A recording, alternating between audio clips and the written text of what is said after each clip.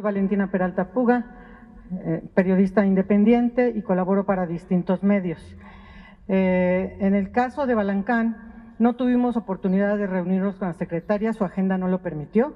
Durante dos días esperamos la llamada. Por iniciativa propia me comuniqué a su área de comunicación social y les envié un resumen de toda la información que yo tengo de los distintos expedientes en las tres fiscalías de tres entidades federativas diferentes.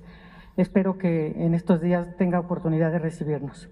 La familia se quedó esperando también esa cita. Eh, nada más decirle, presidente, que le traemos aquí eh, de redes abiertas todos los casos que en 2020 sucedieron en, Tabasco y uno muy significativo que sucedió aquí en la Ciudad de México, así que es importante solamente referirlo, fue una noticia nacional y tal vez internacional, donde este, enfermeros y enfermeras que vinieron a atender lo del COVID. Fueron secuestradas en un hotel de la Ciudad de México, 14 personas, y para hacer este secuestro muy similar al de Balancán, utilizaron a otra víctima, un militar, al que también lo obligaron bajo presión psicológica a ir y, hacer este acto, inclusive físicamente adentro de del hotel donde estaban los enfermeros y enfermeras, por lo tanto, los enfermeros y enfermeras lo señalaron como uno de los secuestradores. Sin embargo, la investigación de datos conservados, de telefonía y de georreferenciación demostró que él también había sido víctima. Y esa valoración jurídico-ministerial fue suficiente para que el Ministerio Público no lo imputara porque se comprobó que él era víctima y que había estado sin voluntad, sin, sin una voluntad de hacer daño, sino que había estado justamente coaccionado por el temor, porque también al papá del militar lo habían eh, hecho creer que estaba secuestrado el chico. Entonces, aquí la familia acudió con el fiscal general del Estado de Tabasco, Nicolás Bautista, el 12 de marzo del 21, pidiéndole el sobreseimiento con todas las pruebas. ¿Por qué? Porque las pruebas que tiene la familia de Tabasco son muchísimo más que las que tenía el militar aquí. Y lo que le respondió el fiscal general de Tabasco fue que ese sobreseimiento no lo iban a llevar a cabo porque era tanto como aceptar que se habían equivocado y que no lo iban a hacer.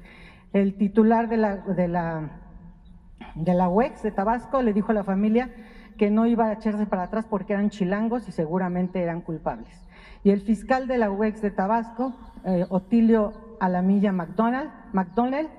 dijo que ellos no iban a tener a recibir ninguna prueba de su inocencia, que ahí eran imputados. Por lo tanto, hay una consigna para que eh, los chicos se queden después de este año y medio todavía ahí. Esperamos que con esta comparativa de lo que se llevó a cabo con una investigación exhaustiva en la Ciudad de México, que también tiene este caso, y donde estos tres chicos son víctimas y está toda la red de vínculos, telefonía y todo que comprueba que son víctimas, se lleve a cabo un criterio similar en este tema que es una de las dos preguntas que le hice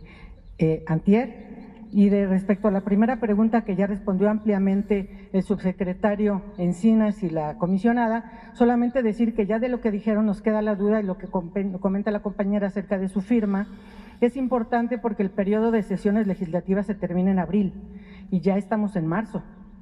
Entonces, nosotros le preguntaríamos si usted podría firmar esto que ya revisó, por cierto, su consejería jurídica, y que ahorita está, sabemos, en el espacio de la Secretaría de Hacienda, una firma de este, de este acuerdo. Y eso no quita ni, ni suprime el que cuando entre al espacio legislativo se puedan hacer varias acciones de democracia participativa directa, como el Parlamento abierto que señala el subsecretario, pero si este acuerdo ya lleva la firma de usted, que además ya fue estudiado por su Consejería Jurídica, sería un avance importante para que antes de que termine el periodo de sesiones pueda haber una respuesta y se puedan poner a trabajar en ese sentido, porque las familias pues nada más cuentan con usted dos años y medio. Eh, otro punto que me, que me salta de la información que dieron es que entonces aquí dicen que la Comisión Nacional de Búsqueda se va a hacer cargo de los gastos del mecanismo extraordinario, del Centro Nacional de Identificación Humana y de los subsidios a todos los estados y entonces si de por sí ya ahorita les queda como el 10% de lo que les dan,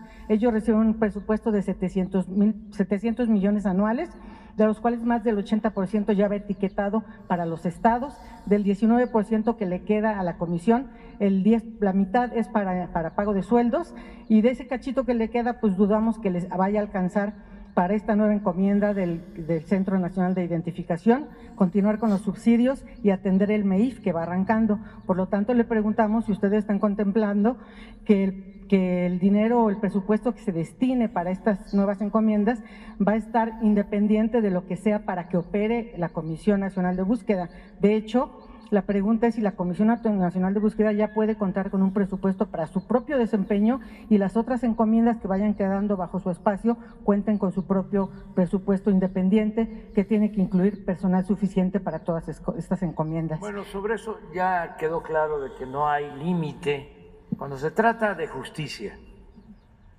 no hay eh, techo